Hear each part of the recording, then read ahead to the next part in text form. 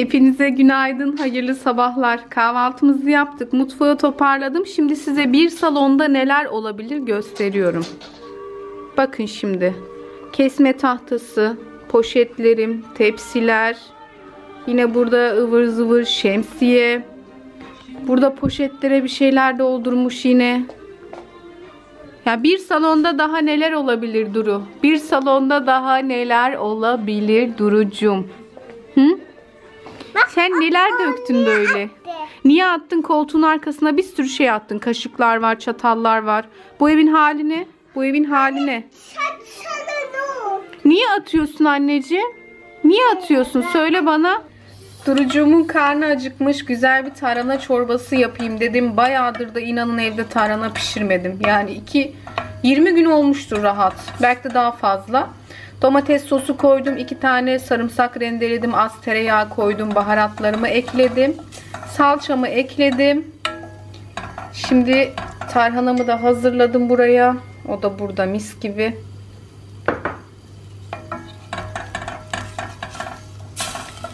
Duruya hemen içiririz.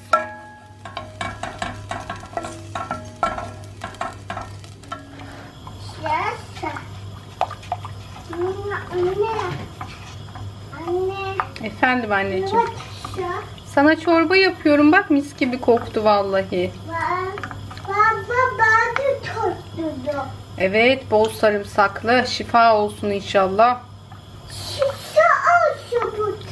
Şifa olsun inşallah. Koyulaşana kadar karıştırıyoruz Duru.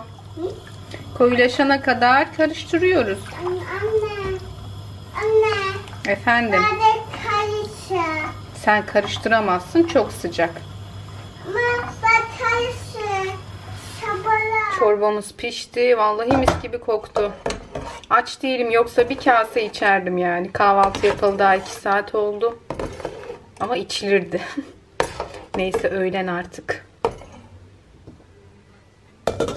Mutfaktan çıkmadan lahana doğradım. Bugün yemeğini yapacağım. Belki bir buçuk iki aydır bu evde yemeği pişmiyor. Kıyma çıkardım bir top. Domatesli şöyle pul biberli. Canım çekti. Bugün çorbayla ikisi yeter diye düşünüyorum. Duruya şimdi hatta bir kase koydum. Hemen ekmeklerini doğrayayım güzel yedireyim. Dağınık olan salonu toplayıp süpüreceğim şimdi. Her şeyi kaldırayım. Burada yemek istedi küçük hanım. Afiyet olsun Durucuğum. Afiyet olsun sana. Kutu. Beğendin mi? Evet çok söyledi. Çok mu beğendin? Burada pekçe var. Peçete var evet. Hmm, çok güzel değil mi? Evet. Ekmeklerini de ye ama. Ekmeklerini de ye anneciğim. Ekmeklerini de ye. Ne? Heh, ekmekli al aşkım. Afiyet olsun. Duru tam iki tabak çorba yedi. Sonuncuyu ben yedirdim hatta. Karnı doydu. Ben de şimdi bir kahve içeceğim. Ara öğün saatim gelmişti. Beyaz leblebi çıkardım. Ondan sonra da evi süpürürüm.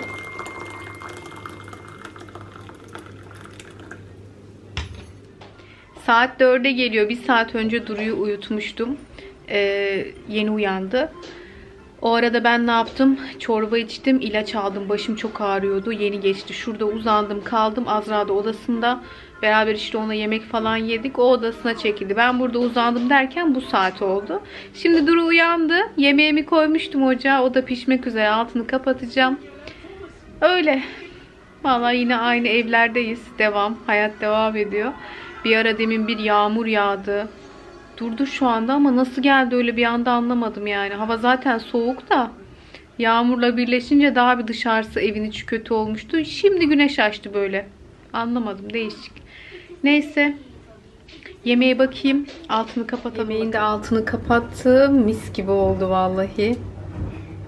Bu sefer bulgur koydum. Genelde pirinç katıyorum. Rıza pirinçli seviyor diye ama bugün bulgurlu yaptım.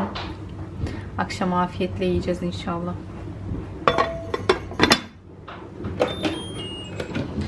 Bir Türk kahvesi yapayım dedim. Hazır otururken.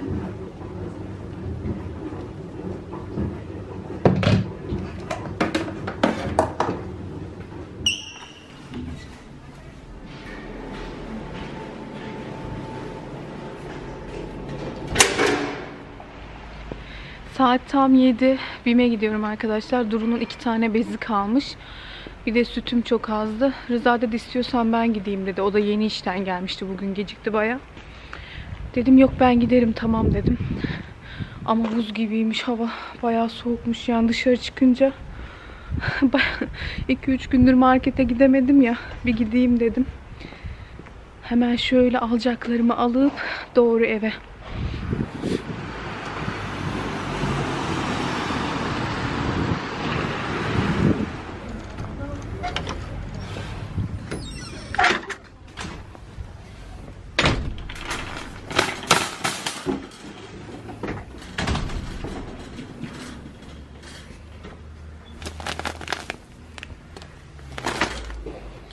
Eve koştum arkadaşlar hemen. Zaten en acil olanları aldım. Çaylı şekerim çok azdı. Bir de bez için gitmiştim.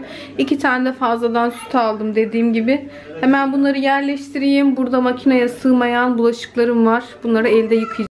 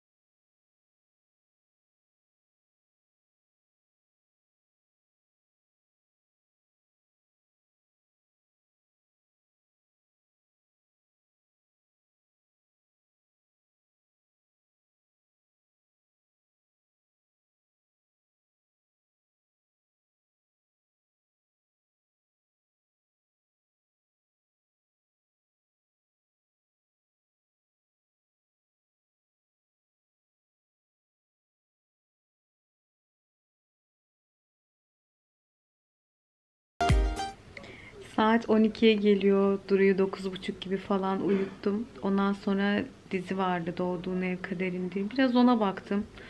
Açıkçası öyle dikkatli de bakmadım yani. Artık onun konusu da sıkmaya başladı beni. Hep aynı konu üstünde dönünce ve birkaç bölüm sonra sıkılmaya başlıyorum. Ondan da bir sıkılmaya başladım yani. Bir ara Hercai'de aynısı olmuştu. Mesela Hercai'ye yaklaşık bir 4-5 haftadır bakmıyorum artık. Bayağı bir sıkıldım ondan. Neyse şimdi haberlere bakıyoruz bir saattir falan Rıza ile birlikte. Ee, hepinizin haberi vardır zaten sayının yükseldiğinden. Ee, kayıp sayısı da arttı. ikiye çıktı biliyorsunuz. Canımız sıkılmıyor mu? Tabii ki sıkılıyor. Oturduğumuz yerden hiçbir şey yapamıyoruz. Dinliyoruz. Dua etmekten başka şu an yapacak bir şeyimiz de yok. Önlem almaktan, tedbir almaktan başka. Bilmiyorum bu kara günler geçecek herhalde. Yani dünyaca rahat bir nefes alacağız inşallah. Yurt dışındaki vatandaşlar daha bir tedirgin çünkü e, orada orada sayı daha bir çok. İtalya'da yani e, İspanya'da, Almanya'da, Hollanda'da orada daha çok panikte insanlar. Burada da artmaya başladı. Burada da sayı bayağı arttı. Yani daha dün akşam 91'di. Şimdi 191'e çıktı. 193 mü? 191 mi? Günden güne artıyor. Allah yardımcımız olsun gerçekten. Vallahi hiç dinlemek istemiyorum aslında. Etkileniyor insan yani etkilenmemek mümkün değil. Ee, akşam bir markete gittim biliyorsunuz. Eve gelince pişman oldum. Neden? Ee, Rıza maske getirmişti bize. Hani en azından dışarı mecburi çıkmak zorunda kalınca maske takalım diye. Ben onu hiç aklıma gelmedi. Unuttum şimdi alışkanlık olmadığı için. Eve gelince dedim ben dedim maskesiz gittim. Böyle bir tedirgin oldum yani. Ama market bomboştu.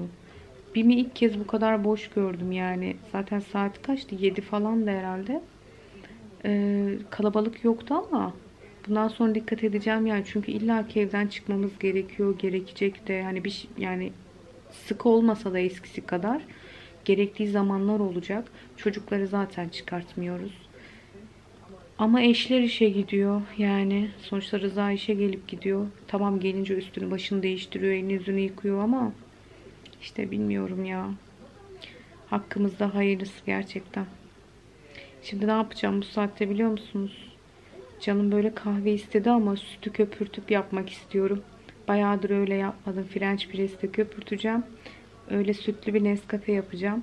Ee, uykumu etkilemiyor. Ben artık kahve konusunda bağışıklık kazandığım için o benim uykumu açmıyor. Hem videomu editlerim hem kahvemi içerim. Kahveyi birlikte yapalım o zaman. Şuradan sütümüzü alalım.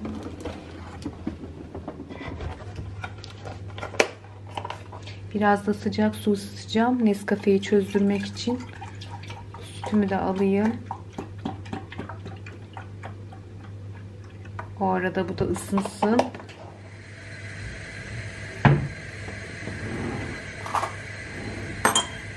Suyum ısındı.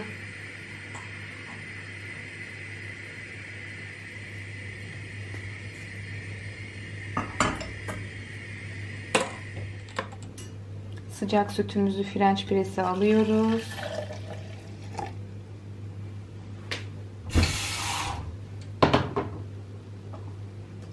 Köpürene kadar çırpmaya devam. Bakın.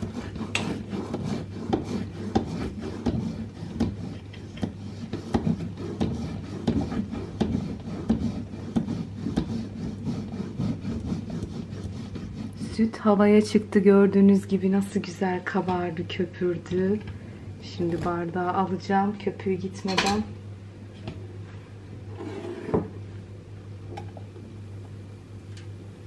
Şu kadar aldım. Üzerine kahveyi boşaltacağız. Bakın şimdi.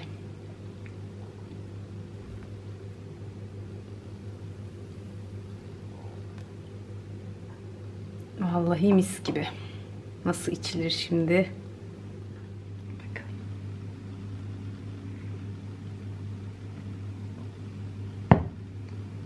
Çok güzel. There's not much to do when all I can is thinking about you. Not doing well, don't know where you are, cause you're not. It's been way too long. If I could lay down beside you, I would, I would. When nothing really matters, that's all I wanna do. I hope that you are safe and that I will see you soon. If I could lay down beside you,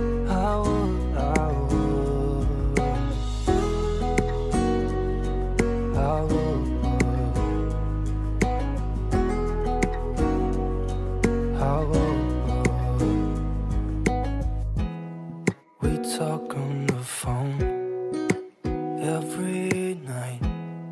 Love to hear your voice. Not sleeping well. And I know that you're right. Bir günün daha sonuna geldik arkadaşlar. Rıza yattı az önce. Ben de dedim videomu falan editleyeyim. Kahvemi içtim. Vallahi çok iyi geldi. Köpüklü köpüklü. Ee, videonun bu kısma kadar olanını hazırladım. Şimdi artık size veda edeyim dedim. Çok bir şey çekemedim bugün sizler için. Dediğim gibi ortada bir durgunluk var. Herkes böyle bir durgun geçiriyor yani günlerini. Ee, biraz böyle modumuz inşallah yükselir. Güzel haberler alırız. İnşallah güzel haberlere uyanırız. Kayıplar daha fazla artmaz diliyorum. Son kez böyle dua ederek kapatmak istiyorum. İnşallah hayırlısıyla bu zor süreci beraber atlatırız arkadaşlar. Herkes kendine çok dikkat etsin. Yarın görüşürüz o zaman. Kendinize iyi bakın. Öpüyorum. Hoşçakalın.